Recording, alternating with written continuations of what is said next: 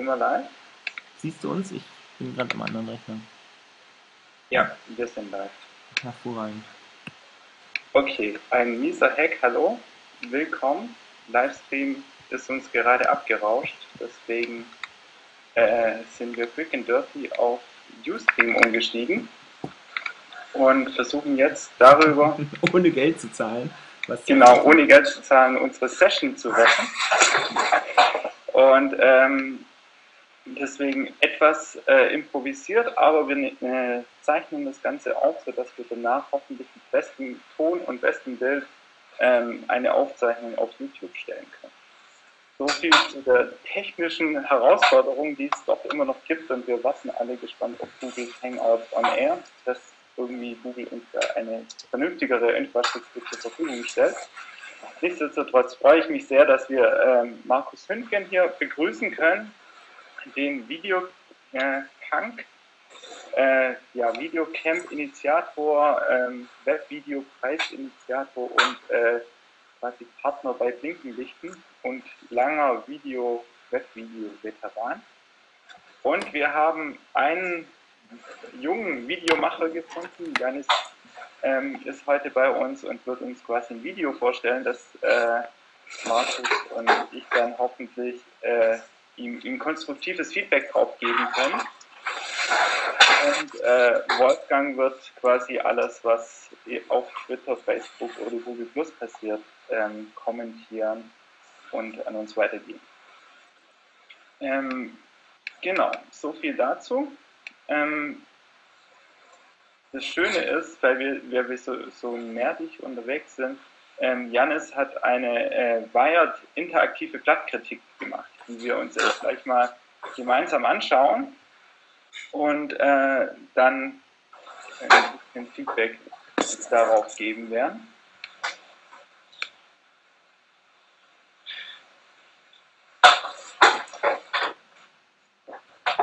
Gucken wir die jetzt? Kennt ihr das Video schon? Ich kenne es sogar. Ah, das bei freut mir mich. Das war doch. gestartet, aber anscheinend überträgt sie noch nicht. Ähm, ich muss auf YouTube wechseln wahrscheinlich. Äh, Janis, erzähl doch mal, warum, warum du das Video gemacht hast. Was war der Ähm. Anlass, außer jetzt, dass die Wired ganz toll ist. Was war der Anlass, außer jetzt, dass die Wired ganz toll ist. Der Anlass war im Prinzip, dass ich halt, äh, ich habe mir die Wired gekauft und es ging ja vorher, okay, es kommt eine deutsche Wired, bla bla bla. Und ich dachte mir, okay, ich schreibe auf jeden Fall was über das Blatt oder mache irgendwas dazu. Und da hatte ich gerade quasi mit YouTube-Videos angefangen und dachte so, hm, schreiben ist wahrscheinlich langweilig, schreiben eh tausend Leute. Und dann hatte ich morgens dieses Unboxing-Video von Matthias Michel gesehen. Glaube ich, der war das, der ja da so die GQ auspackt und direkt den Mülleimer wirft. Und dann dachte ich, okay, Unboxing, das ist cool. Aber ich will auch noch eine Kritik drin haben. Und dann habe ich es mir im Kiosk äh, gekauft und so auf dem Heimweg kam so diese Idee, okay, eine interaktive Kritik, das wäre doch mal was. Kam so diese Idee, okay, eine interaktive Kritik, das wäre doch mal was. Kam so diese Idee, okay, eine Tonlag. okay. Schaltet Wie lange hast du gebraucht, das Video zu machen? Ah, das hat schon eine Weile gedauert. Also ich habe mir, keine Ahnung, wann habe ich die Zeitung gekauft? So um 10 oder so und dann, bis es online war, das Video, war es glaube ich 5 oder so. Also ja, aber das ist auch nicht so lange. Also geht eigentlich. Ich hätte den Aufwand größer eingeschätzt, so ein interaktives Ding zu machen. Okay. So, wir haben das, Fabian hat das Video parat. Startest du mal?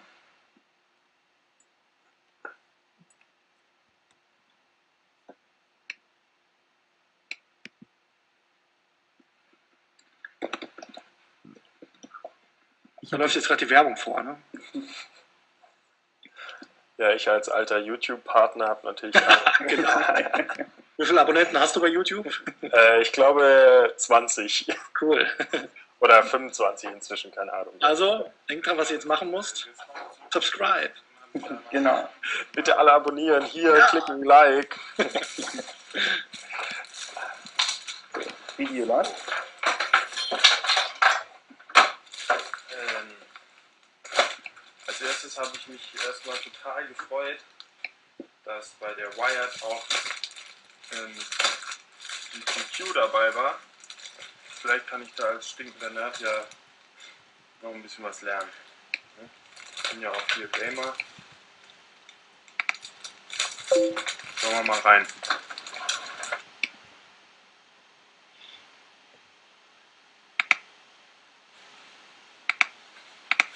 Ja, hi. Ich komme jetzt gerade zum, vom Kiosk zurück und habe mir die neue GQ gekauft. Mit was hast du das denn gedreht? Äh, mit, ja, mit dem iPhone einfach nur. Okay. Okay.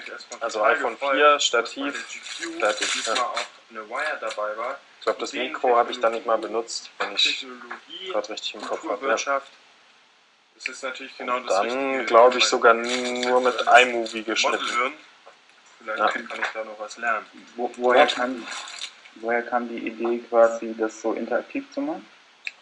Ähm, ja, weil ich dann irgendwie mehrere Ideen auf einmal hatte. Also ich hatte so dieses, ich wollte dieses GQ, Wired, Bundle, Skandal, warum müssen wir die GQ, das wollte ich irgendwie mit reinbringen. Dann fand ich die Idee mit diesem Unboxing super, da wollte ich aber auch noch inhaltlich was zu dem Heft sagen. Und so kam dann die Ja, Idee, okay, ich mache das irgendwie interaktiv. Vor allem, weil ich das sowieso mal ausprobieren wollte mit so einem interaktiven Video. Ist es schwer? Nö, ist es nicht. Ähm, kann ich jetzt sagen, aber ja, So. Das ist die Wire. es war halt so ein bisschen Experimentierfreude einfach. Beilage. Ja, für die iPad-App. Sehr schön. Weil ich meine, das war so das, das äh, dritte Video, das ich gemacht habe, oder vierte oder was. Und ja, Vergleich. Die GQ ist war auf fast jeden Fall lustig. doppelt so dick wie die Wire. Kannst ja nächstes Jahr wieder Wired Unboxing machen. Ja, genau. Da habe ich schon überlegt. Nee, ich mache gerade, äh, also gerade habe ich die letzte Aufnahme für mein nächstes interaktives Video gemacht. Das Editorial. Ähm, Kleine Kindle-Kritik noch, dachte ich mir, ah, mache ich noch schnell so einen Weihnachtsgeschenke-Check. Ähm, da will ich es aber quasi anders probieren. Das ist ja jetzt quasi alles in einem Video. Und da mache ich jetzt quasi mehrere Videos, die untereinander verlinkt sind. 1101. Okay. Kommt wahrscheinlich morgen. Also am besten den Kanal abonnieren, dann verpasst ihr es auch alle nicht. Mal hier noch schnell so einen Zettel, den du mal reinhalten kannst jetzt. Ach so. Inzwischen schon wieder weg. Ich hab, Und denk dran, Daumen hoch, Daumen runter. Genau. Auch dicker als die deutsche erkennen wir hier. Den deutschen Farben. Wenn, wenn du dich jetzt entscheiden müsstest für eins von diesen drei Sequenzen, welches würdest, wel- welche würdest du nehmen? sind es nur drei Sequenzen? Also Ähm, Unbo Unboxing, Verriss oder konstruktive Ja, hey, ich das äh, Magazin. Äh, dann wahrscheinlich das Ähm, Unboxing, weil der Verriss ist ganz Man kurz. kann sagen, Also, jetzt das Blatt. Ich meine, am besten mal ist ja eigentlich der- am- besten ist eigentlich der Anfang. sondern es Wo man dann auswählt, soll ich die Wired oder die GQ kaufen. Gesellschaftlichen Aspekte so ein bisschen von War eine schwierige Wahl, ne? Vernetzung, Mhm. ähm, Ja, weil Entweder man nimmt halt das, das Nerd-Magazin und lernt was halt oder man nimmt die GQ und sieht endlich gut aus. Das- nicht newsmäßig, aber so, sich halt so so. hm, Schlimm, dass nicht beides geht, oder nicht? Ja, Ähm, was dann doch im, im Deutschen merkt man, bringt die Sprache nee, ich habe auch diese, also ich fand die Aufregung darum jetzt irgendwie ein bisschen übertrieben. konstruiert, aber das, dass es irgendwie im der Wandel war, weil-. Ich krieg zwei Zeitschriften zum Preis von einem, was ist daran so schlimm? Also auch wenn ich mir normal die GQ nicht kaufen würde, aber Von den ähm, Artikeln macht es teilweise was? schwierig, die von Werbeanzeigen zu unterscheiden. So ist auf den ersten Blick ist es jetzt nicht. ich meine, das verfälscht halt die Verkaufszahlen, die wir dann irgendwie jetzt, Ähm, ja, aber natürlich, der Abschluss ist dann hier dieser Artikel über. Und die sollen ja ganz gut gewesen sein, generell. Ja klar, ich weiß ja nicht, wie sie es ausgerechnet haben dann. Ja, das wird vielleicht weiß ich es nur nicht mal überhaupt irgendwer. was von ist, der Werbung abgucken können, nicht nur umgekehrt. Zum Beispiel. Aber hast du noch Unterstützung beim Video oder hast du quasi alles auf Stativ gestellt und dann alleine gestellt? Alles. Stativ, alles alleine. Ja, also iPad extra. ist ja auch nur eine Kamera da im Einsatz, also ja. Videos, die es dann nur in der iPad-App gibt. Und bis jetzt habe ich auch alle Videos, die ich gemacht habe, alleine gedreht. Also ich habe ja auch ein paar Interviews drauf, da sind meistens zwei Kameras, äh, so gut es ging. schwimmenden Ähm, Fische elektronisch angetrieben. aber Würde ich gerne trotzdem war ich dabei sehen. eigentlich immer alleine. Aber da Ja. fehlt halt einfach noch die Homepage. Es gibt ja nur einen Blog. Was mir gleich aufgefallen ist, ist irgendwie so, Würde ich mir wünschen, vielleicht dass so ein bisschen reißerischen ähm, Intro oder in so. Zukunft, wenn es denn hoffentlich Am weitergeht, Anfang, ne? Also das ist, äh, zumindest, ne? äh, Also was, man Wired auch Einmal am, am Anfang vielleicht weiterbringt. Zusammenfassung, vor allem bei 15 Minuten, was erwartet Mhm. den Zuschauer. Amerikanische Ja. Wired ist ja dafür Ja, bekannt, ist noch so ein- eine Idee. eben bei vielen Diskussionen immer noch auf der Stelle, auf die Ja, also da habe ich gerade bei den, bei den langen Interviews das Problem. Die werden halt oft so 15 Minuten lang und da dann was Reißerisches draus zu machen, da habe ich auch schon überlegt, quasi immer eine Anmoderation davor zu stellen, zu sagen, hey, das lohnt sich auf jeden Fall, super spannend, subscribe. Äh, ja. Aber ich mag halt diesen, diesen Interviewstil, dass es mehr ein Gespräch wird, als so, okay, wir machen jetzt knallhart die Fragen in 1,30 und dann fertig. Ich mag es eher, wenn ein Interview zu einem Gespräch wird. Und dann wird es halt auch schnell eine Viertelstunde, 20 Minuten lang. Aber kannst du das nicht danach rausbringen? Also dass du die Anmoderation quasi nach dem Interview machst und dann halt dir die zwei, drei großen Thesen rausnimmst? Ja, das ähm, habe ich mir auch schon ein paar Mal überlegt, aber das ist mir dann oft zu viel Aufwand. Also oft ist es dann so, okay, du hast diese 15 Minuten Video und dann das sich alles nochmal das Geseier anhören, was man da losgelassen hat, das ist dann schon immer wieder anstrengend. Ja. Tja, ich guck's schon mal.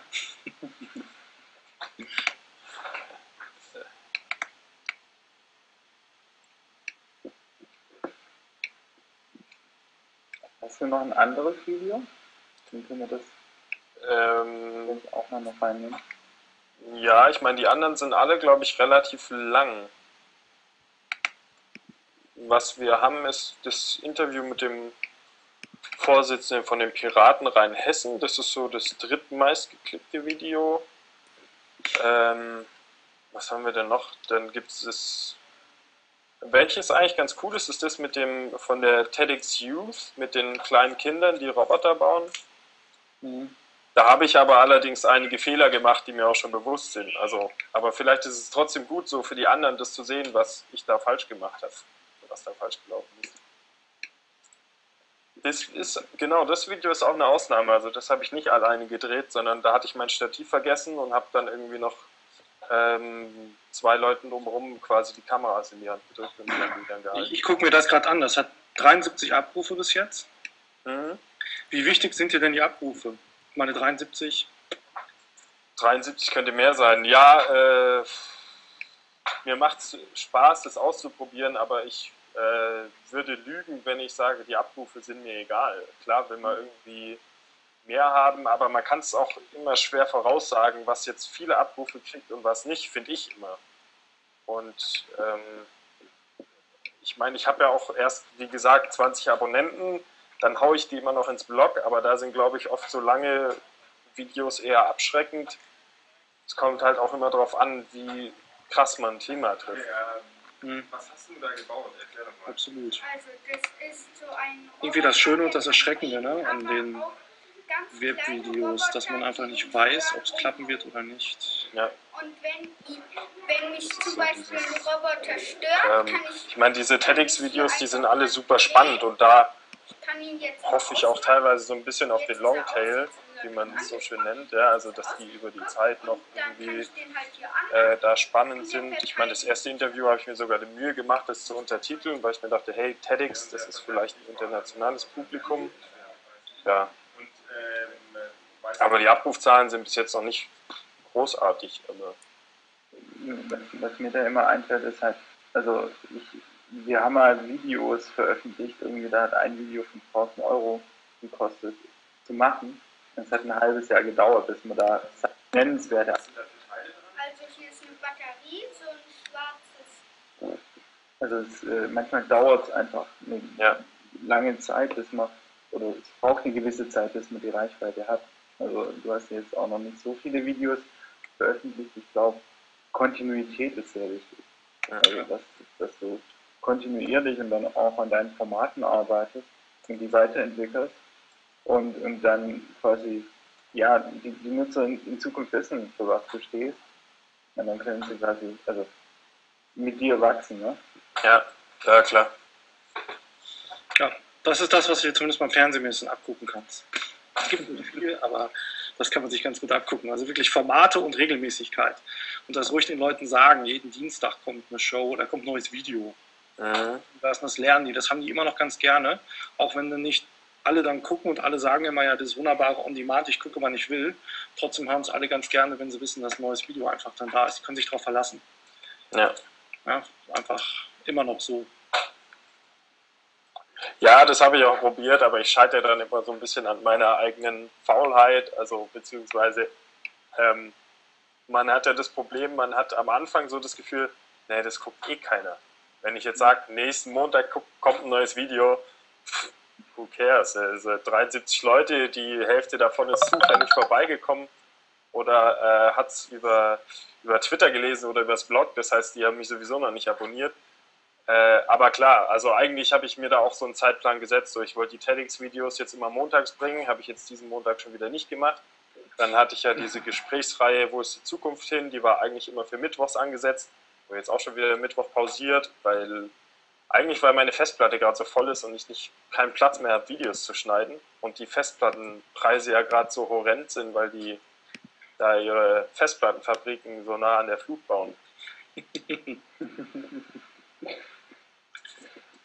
Ja, aber theoretisch kannst du ja auch, also wa- was ich interessant fand, ist, du könntest auch ganz viel einfach mal hochladen und es dann immer nur noch nach und nach freischalten. Ne? Also du Mhm. musst die am Anfang nicht, nicht mal listen. Mhm. Ja. also das heißt, dass du vielleicht so ein bisschen vorarbeitest und dann, wenn du sagst, okay, ich habe jetzt irgendwann, jetzt gerade habe ich Zeit, dann produzierst du quasi auf Halte und dann am Schluss machst du nur noch so die Haken dran. Ne? Ja. Das machen sehr viele sogar. Das haben wir, wann haben wir es noch gesehen? Jetzt bei Sonnenallee.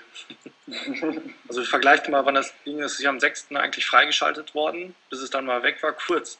Ähm, und hochgeladen ist, glaube ich, am 2. Da steht sogar noch als Datum mehr drin. Zumindest Ja, das eben, also das war meine Frage. Also stuft es dann YouTube nicht quasi als weniger aktuell ein? Ja. Weil das ist ja auch so ein Vorteil, den man eigentlich mitnehmen will. Ich lade es jetzt hoch und dann steht da, okay, neues Video hochgeladen.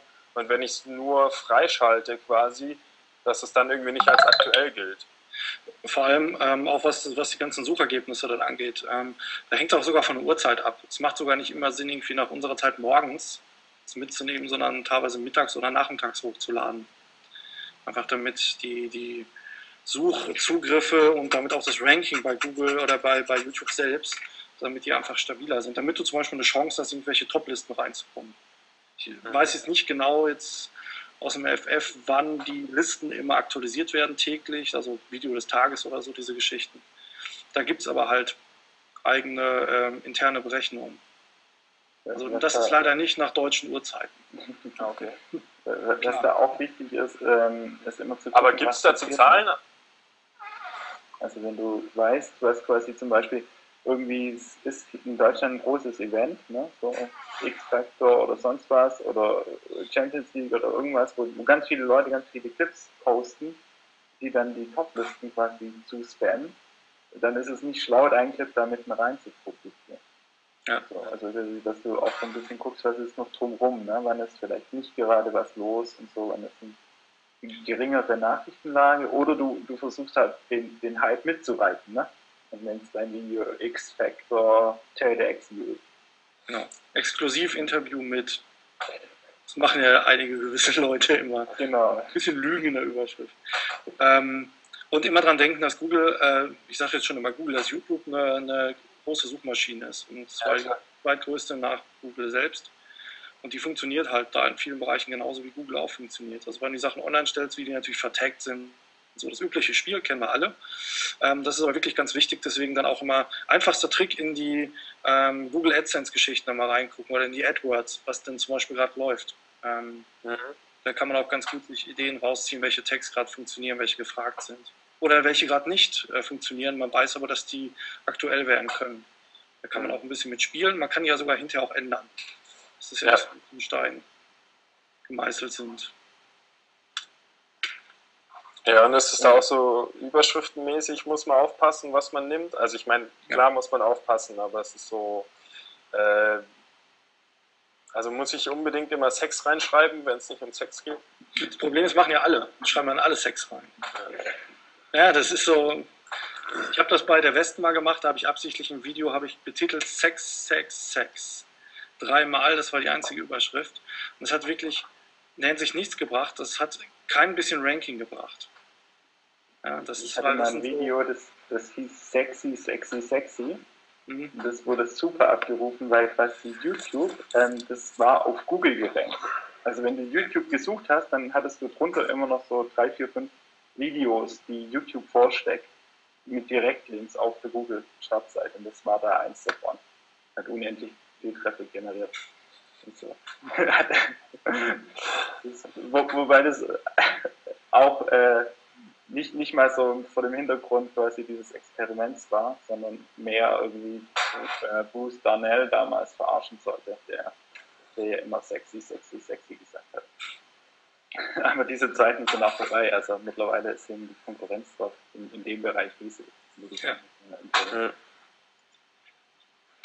So, gucken wir den noch nicht. Was mich mal. ich frage jetzt mal. Gucken wir noch was? Ähm, was, was, ich mal interessant fände, ist, ähm, das, das äh, ist ein Video, also wollen wir noch ein Video von, von Janis schauen? Wenn ihr noch eins findet. Wenn du noch eins hast. Markus, äh, so, sonst, würde ich gern mal, ähm, was, was, was mich interessieren würde, ist, ähm, weil es gibt ja auf YouTube immer diese, diese ähm, sage ich mal, laut Lautenshows, ne, so mit Außenseiter und, und Waititi und so, die, die irgendwie sehr stark auf Unterhaltung gehen. Ich, ich frage mich immer, wie, wie man es schafft, nicht unbedingt ähm, zu kriegen, sondern so andere Videos auf, auf YouTube auch zu machen, Qualität auch irgendwie zu verbreiten.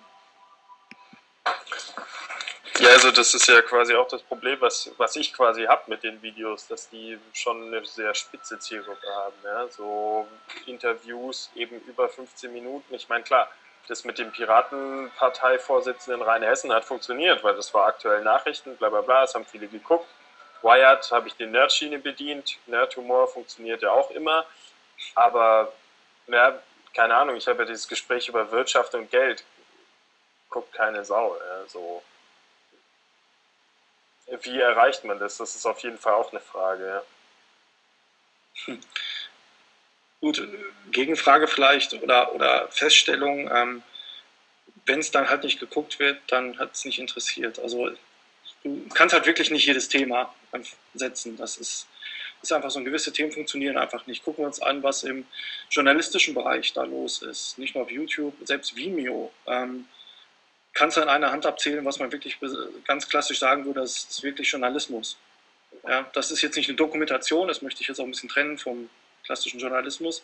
Wo ist denn wirklich so eine, aufwendige, tolle Netzreportage oder ähm, wirklich ein guter Bericht, was Insidermäßiges oder so? Da gibt es halt kaum was. Ähm, warum? Ich gehe ja davon immer ein bisschen aus, wenn Sachen gut funktionieren würden, dann lässt sich Geld mit verdienen, dann wird das auch irgendeiner machen im Netz. Und das ist da einfach nicht so. Das Interesse ist da einfach nicht so groß nach. Ähm, vielleicht, da braucht es auch neue Formate, neue Ideen. Ich meine, so eine Unboxing-Geschichte ist ja so ein, schon eine Richtung, ist ja was anderes, was du auch klassisch sonst nicht hast. Äh, Im Fernsehbereich zum Beispiel. Ähm, was aber trotzdem so einen Informationscharakter natürlich mitbringt. Ja, aber ich meine, das ist ja auch einfach äh, Humor oder Unterhalten ähm, leite ich einfach viel schneller weiter als ja. ähm, irgendwie jetzt eine politische Reportage. Einfach weil ich denke, okay, das ist lustig, ähm, andere finden es auch lustig, leite ich weiter. Wenn ich sage, okay, äh, da wird jetzt Westerwelle verarscht, das leite ich jetzt vielleicht nicht unbedingt meinem Chef weiter, weil der ist, keine Ahnung, heimlich FDP-Wähler, einer von den dreien, die es noch gibt. So, also Humor leite ich viel eher weiter als irgendwie alles andere. Und da kommt halt diese Viralitätsspirale einfach ins Spiel. Genau. Also das einfachste Prinzip, so festzustellen für einen selbst, ob ein Video funktionieren könnte, das ist so ein Gegencheck, den ich mal versuche, ist, ähm, kannst du das Video nicht in einem Satz beschreiben, sondern in einem Wort. Ähm, und da geht es nicht darum, das jetzt in, in dem klassischen einen Wort zu beschreiben, das ist jetzt, da geht es um Roboter oder so, das ist herrlich unemotional. Und einem Wort, was irgendwie eine gewisse Emotionalität auch rüberbringt. Ähm, also wo du wirklich jemandem empfehlen würdest, denke an Hashtag. Ich bin ein großer Freund von versuchen, einen Hashtag zu finden, was andere auch direkt verstehen könnten. Das ist wie klassisches Beispiel ja LOL. Wenn du hinter, hinter einen YouTube-Link LOL schreibst, dann wissen die Leute, wenn ich das jetzt anklicke und dem Typ vertraue ich eigentlich in der Regel, da werde ich jetzt was zu lachen bekommen. Und so können die Leute das ganz gut für sich auch kategorisieren, gerade so, wenn die Links durch die Gegend geschossen werden auf YouTube, dass man so eine gewisse Vorauswahl ja schon einfach hat. Ja, also äh, ich will auch nicht bei diesen Interviews stehen bleiben, sondern sobald wir hier fertig sind, werde ich anfangen, Storyboards zu malen. Und äh, dann habe ich morgen ein Meeting mit zwei Kameramännern und dann nehmen wir uns dem Thema Unterhaltung an. Yeah. Ja, cool. Wie wichtig sind dir denn so Storyboards? Wie aufwendig machst du die? Äh, ich habe leider gemerkt, ich kann überhaupt nicht malen. Ich weiß nicht, ob man das erkennt. Das macht es mit dem Storyboard-Zeichnen um einiges schwieriger. Nee, aber äh, überhaupt nicht aufwendig. Es geht ja nur darum zu planen. Also, sobald man ein Team ist, muss man sich ja verständigen, muss man Vorstellungen haben und zu planen, was braucht man an Einstellungen. Ähm, ja, also es ist ja nicht für irgendeinen Dritten, der es verstehen muss, sondern für uns, dass wir wissen, wie läuft die Handlung ab. Äh, ja. Und dass wir halt sagen, okay, einer malt das Storyboard und überlegt sich halt, wie, wie läuft es ab. Aber überhaupt nicht aufwendig, nee, gar nicht, sondern wirklich geskribbelt so. Okay. Aber was, was mich noch interessieren würde, Markus, wie siehst du das? Also das Video, was ich gerade angespielt habe, ne, so diese Longboard Girls, das mhm. funktioniert ja fast nur über na, super schöne Bilder, äh, schöne Kameraeinstellungen, fast ein bisschen Musik. Ähm, wie weit kann man sich da noch irgendwie positionieren? Oder, oder ist es eben so auch, auch quasi, dass das, das filmische Handwerkszeug einem helfen kann, quasi ein Publikum zu finden? Oder ist es wirklich nur der Inhalt, der, der irgendwie erzählt werden muss und wenn es dann wackelig ist, dann ist es wackelig? Ähm, gut, jetzt kann man natürlich ein paar Sprüche bringen wie Content is King.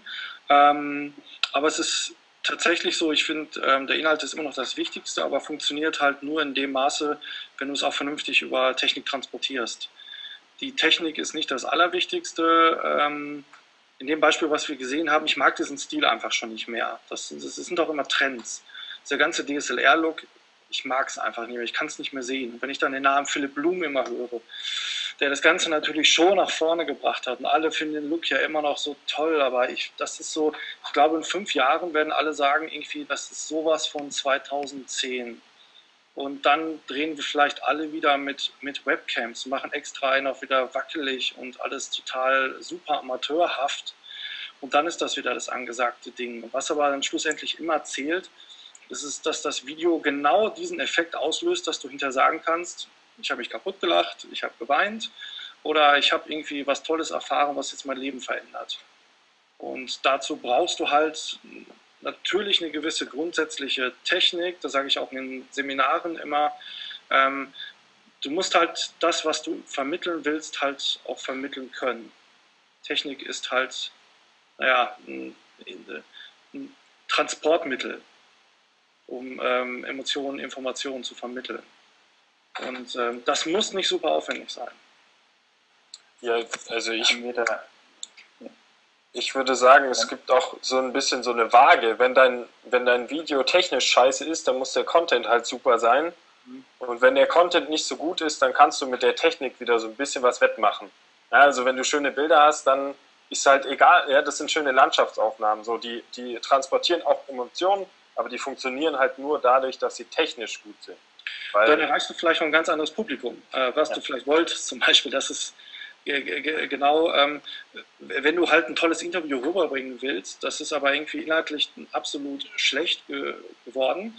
Du hast das aber total toll gefilmt, mit tollen, äh, mit, mit, mit ähm, Steadicam und allen Geschichten, die man da machen kann. Da gucken sich das vielleicht ein paar Leute an, was total toll gefilmt ist. Der Inhalt ist denen dann aber auf einmal egal, aber du wolltest den Inhalt transportieren. Ja, das ist immer so dieses, da muss, das muss man auch für sich einfach ganz klar sehen, wenn man auch so eine Konzeption geht. Ähm, was möchte ich denn wirklich transportieren? Manchmal macht es wirklich keinen Sinn, schöne Bilder zu haben. Peng, ist einfach so.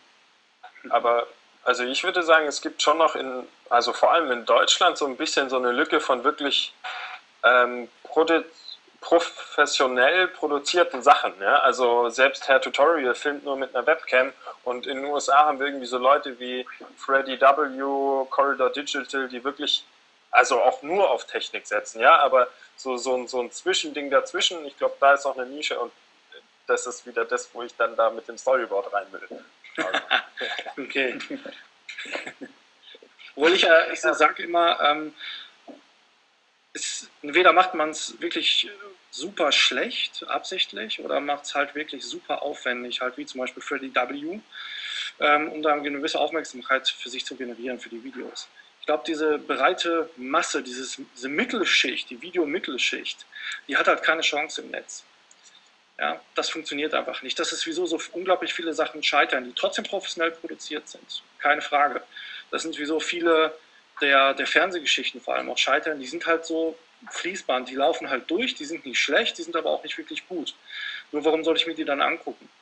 Ja, ich habe die Wahl, auch was zu sehen, was richtig gut ist oder was halt zwar in anderen Augen super schlecht ist, aber ich finde halt den Inhalt total toll oder so und deswegen gehöre ich zur Nische und gucke mir das an.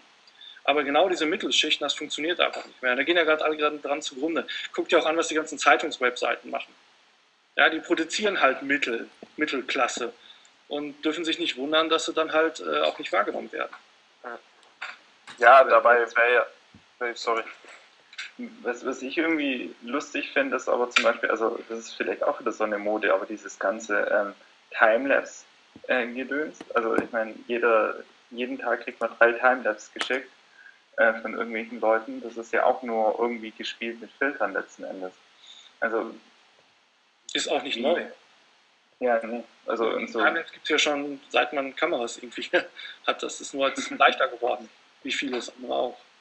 Kann es auch nicht mehr sehen. irgendwie funktioniert es, ne? Also irgendwie, Ja. das, das ist, ist dann, also so kann man schon noch mitreiten auf einer gewissen Welle. Ja. Ja, aber also ich schaue sie mir gar nicht mehr an. Also wenn jetzt irgendwie das dritte Timelapse-Video von Hamburg kommt und von Buxtehude und was weiß ich und da passiert halt nichts, außer dass er einmal über den Hafen schwenkt, dann denke ich mir so, nee, äh, auch wenn es jetzt in Nord ist. Wenn jetzt hier jemand, also ich bin in Mainz, wenn jetzt hier noch ein Timelapse-Video kommt, dann schaue ich dem, mir das an, weil ich hier wohne und denke, ah, das ist ja schön, hier wohne ich. Aber sonst, äh, nee, sogar Nerdcore hat inzwischen, glaube ich, die Schnauze voll von Timelapse-Videos. Hat er schön gesagt. Das sagt alles.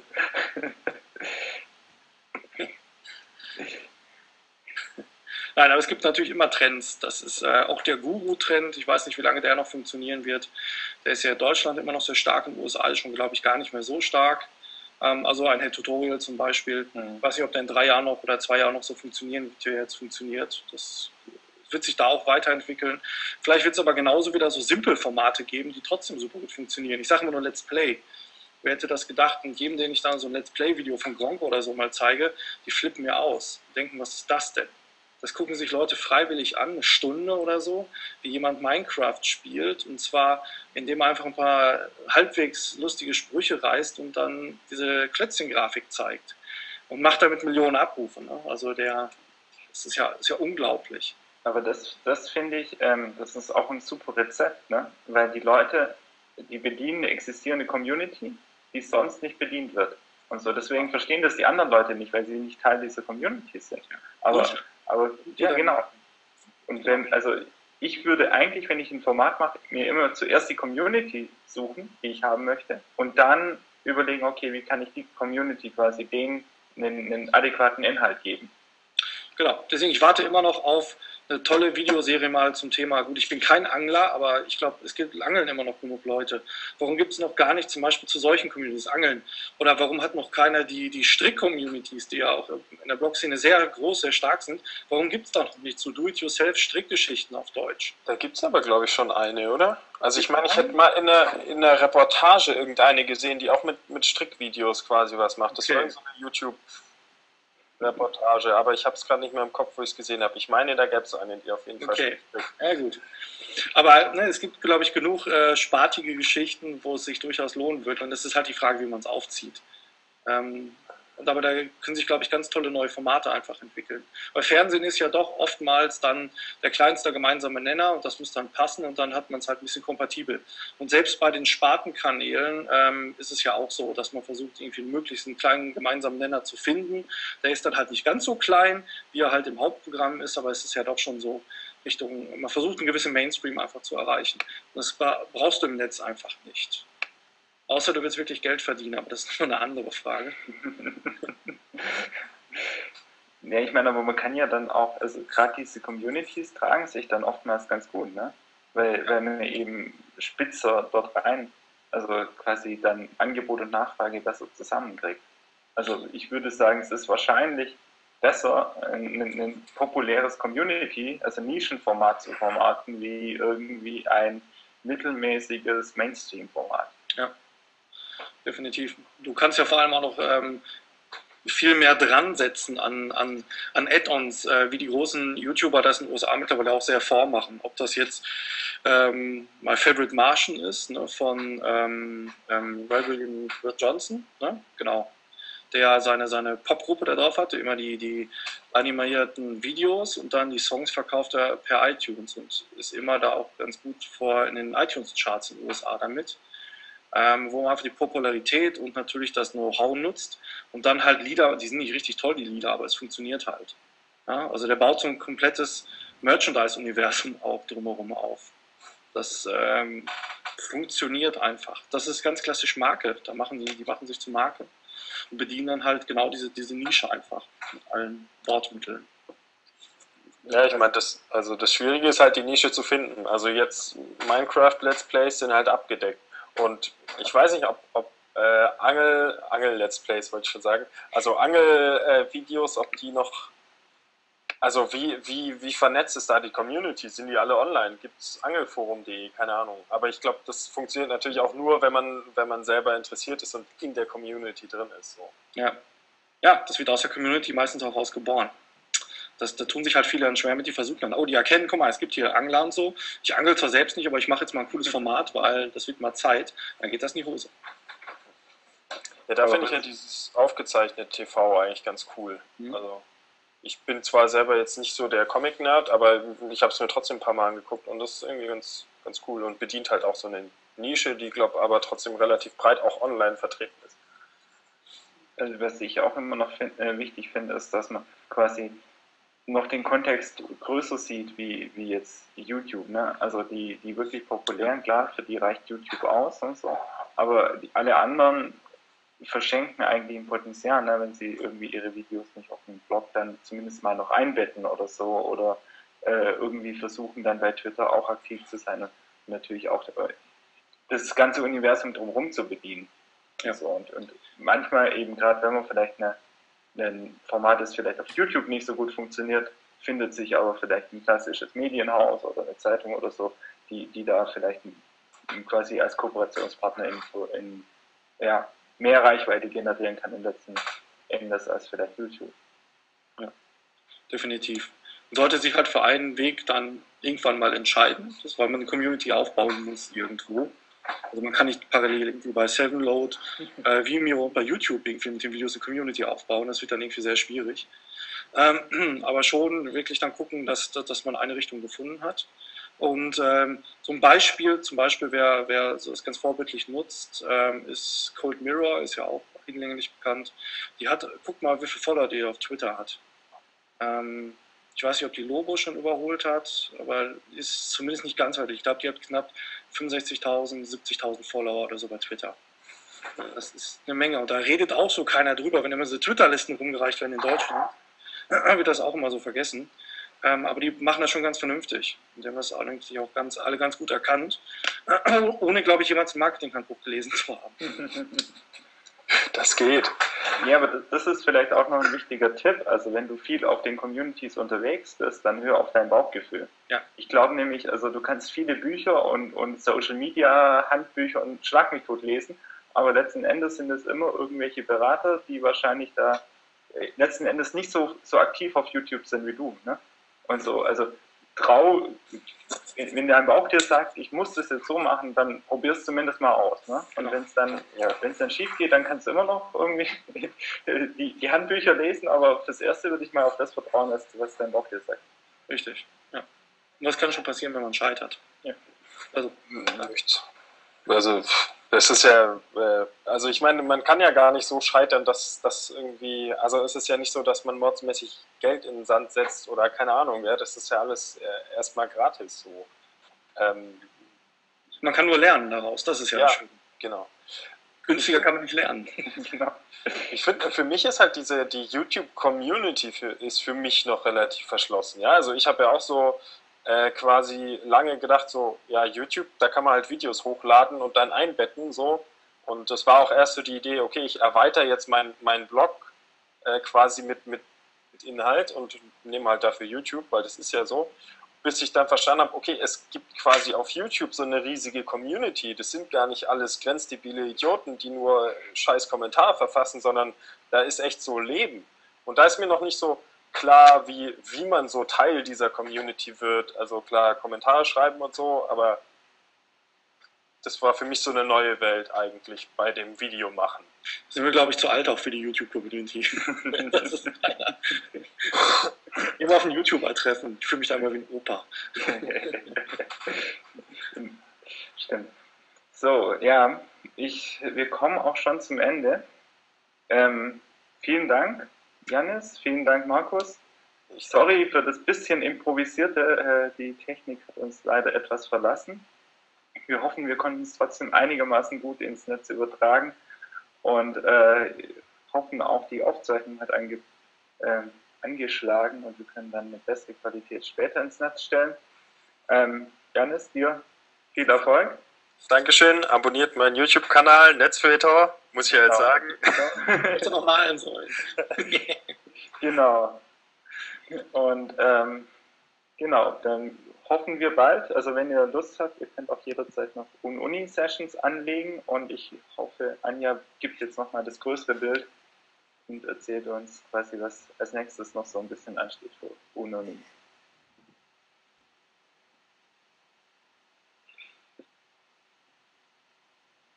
Anja, du musst dich laut machen.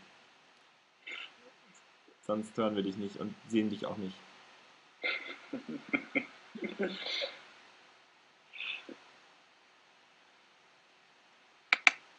Hört ihr mich? Ja, schon, oder? Wir hören dich, Florian. Wir hören nur Anja nicht.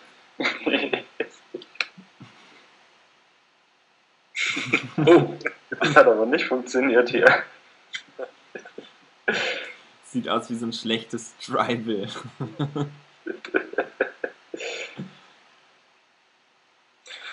Anja, wenn Hier du funktioniert das willst, musst doch du super mit das dem Mikro anmachen.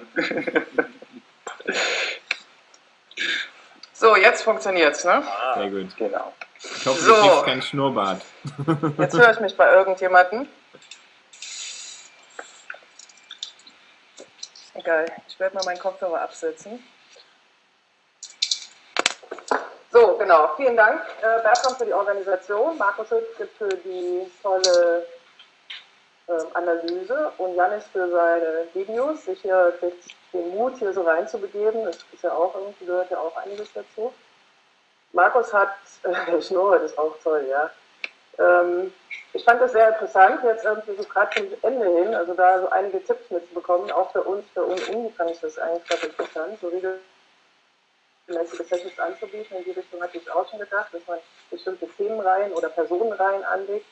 Insofern äh, finde ich das eigentlich, ähm, ja, sollten wir das auch nochmal alles bedenken, die Tipps, die Hünken da eben formulierte. Wir werden jetzt, äh, danke an alle Beteiligten, die hier an der Kick-Off-Reihe sich äh, engagiert hatten, sowohl aus dem Team als auch ähm, in den Hangouts und in den verschiedenen sozialen Netzwerken. Die ganzen Twitterer, ich weiß, dass es sehr mühsam war, so zu kommunizieren, aber äh, im Moment ist das der Weg. Wir müssen schauen, wie wir das verbessern können. Ähm, wir werden gleich eine Nachbesprechung noch mit allen, die interessiert sind, durchführen. Die wird, denke ich, erstmal nicht live gestreamt. Also wer Interesse hat, diese Kick-Off-Reihe mitzudiskutieren, zehn Leute können rein in das Hangout ab halb zehn. Und äh, ja, das war's von meiner Seite. Macht's gut, schönen Abend. Ich kann jetzt den Kopfhörer aufsetzen und das Problem versuchen zu beheben. Macht's gut, tschüss. Und Tschüss. äh, Tschüss. Ciao. dann geht die beginnt eigentlich erst die eigentliche Unkonferenz. Ne? Also jetzt seid ihr dran da draußen. Die zehn Teilnehmer, das sollte man dazu sagen, die zehn Teilnehmer können auch wechseln. Das ist kein Problem.